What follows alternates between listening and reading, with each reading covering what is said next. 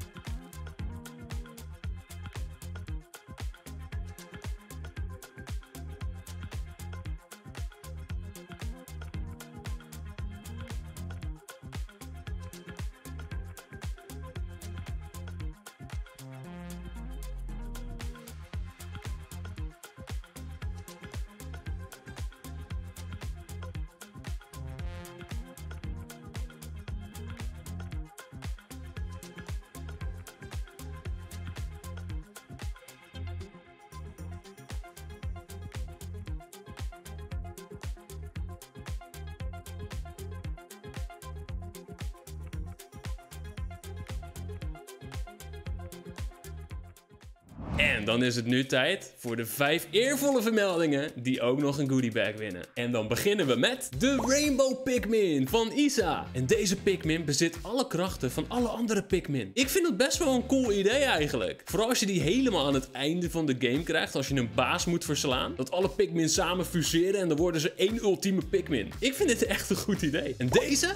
Is van Julius. Dit is de Hamer Pikmin. En jij hebt er echt een soort van werktekening gemaakt met alle praktische invullingen van wat hij kan met zijn hamer. Van de Hamer Pikmin kan je er maar één in je team hebben. Je hebt een powerhandschoen nodig om ze uit de grond te trekken. Ze zijn heel goed in muren breken. En ze slaan de vijanden knock-out voor 20 seconden maar het doet geen pijn. Deze is ook heel origineel bedacht. En de manier van tekenen en de technische uitwerking vind ik echt fantastisch. Gefeliciteerd. En de volgende is van... Ik weet je echte naam niet. Laptop Player. Deze heb ik ook maar één keer lang zien komen. Een geluidspikmin. Ik hou heel erg van muziek en ik ben heel erg geïnteresseerd in audiogolven en dat soort dingen. Dus ik denk dat hij een liedje maakt waarmee hij de vijanden bang maakt, zodat ze wegrennen aan de tekening te zien. Onwijs origineel idee. Leuke kleur. En ook jij krijgt een prijs. Oh, en nu hebben we toch een fantastische tekening. Ik moest jou wel een prijs geven. Gefeliciteerd! Lucas. Deze paarse Pikmin kan met zijn hoofd andere objecten of levende wezens doen opstijgen door ze van hun zwaartekracht te ontnemen. Super origineel idee. Heel mooi getekend. Ik kon niet anders dan jou ook een goodie pakket geven. Gefeliciteerd. En dan de laatste.